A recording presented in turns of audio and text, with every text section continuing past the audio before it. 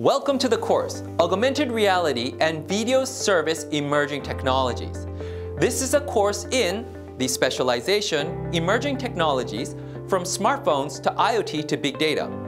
My name is Jong-Moon Chung and I'm a professor at Yonsei University. I welcome you to this course. The modules in this course include AR applications, products and business, AR technology, SIFT, SURF, FAST, BRIEF, ORB, and BRISK. Then we'll look into Skype and YouTube and the video technology that is being used by them.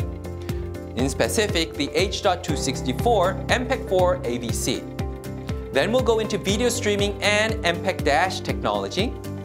We'll take a closer look into the CDN-based video streaming technology, which is so popular. Then we'll go into an augmented reality smartphone project.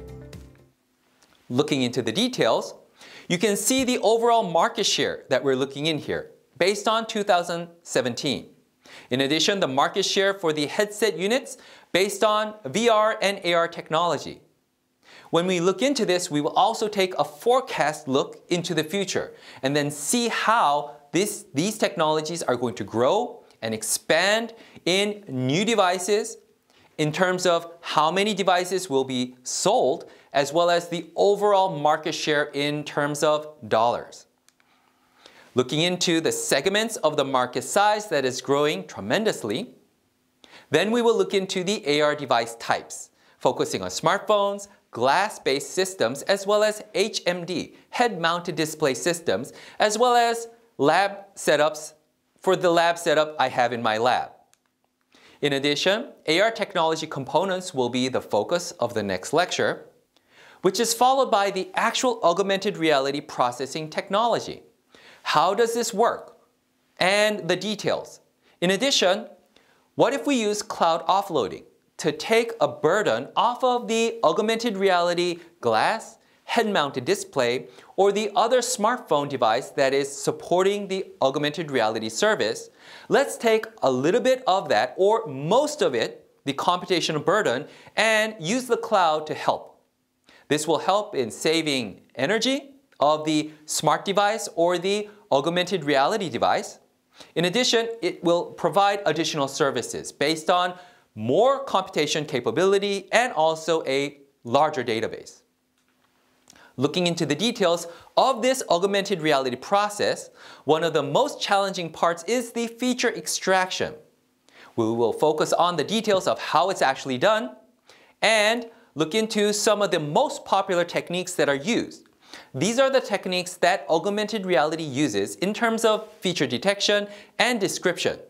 And since these techniques are used in almost all augmented reality devices, we will take a closer look into them. As in terms of SIFT, the details of SURF, the details of FAST, how BRIEF is actually processed, in addition to ORB and BRISK. Then we will go into Skype, video conferencing technology. We will take a close look at the evolution of the Skype video and audio codecs, but we will focus more on the video codec that has been used by Microsoft since Microsoft acquired Skype in 2011, in specific the H.264. Then we will go into the YouTube video technology where we will look into HTML5 and MPEG-DASH techniques that are used by YouTube. And also we will look into the various resolutions and how MPEG-DASH is used by YouTube. Looking into the operations of the pull-based adaptive media streaming techniques, how it actually is being supported by MPEG-DASH for services of YouTube and other video streaming systems. We will look into the details of how the server and the client interact and work together. In addition, we'll look into the details of the fragmented MP4 file format. Then we will focus on the HTTP technology as well as an example of how this all works together. We will also look into the details of the MPD, which is very important because a lot of the information in addition to how the structure of the various contents are provided are all in the hidden secrets of this specification. We will also look into trick mode, which is a service that you use frequently when you use YouTube, as in terms of putting your finger down there and moving it around such that you can look at a different part of the video. In order to explain this, we will look into the details of iframes, p-frames, and b-frames, and the overall video service technology. In addition, we will look at how the most popular video streaming systems are supported through CDN technology.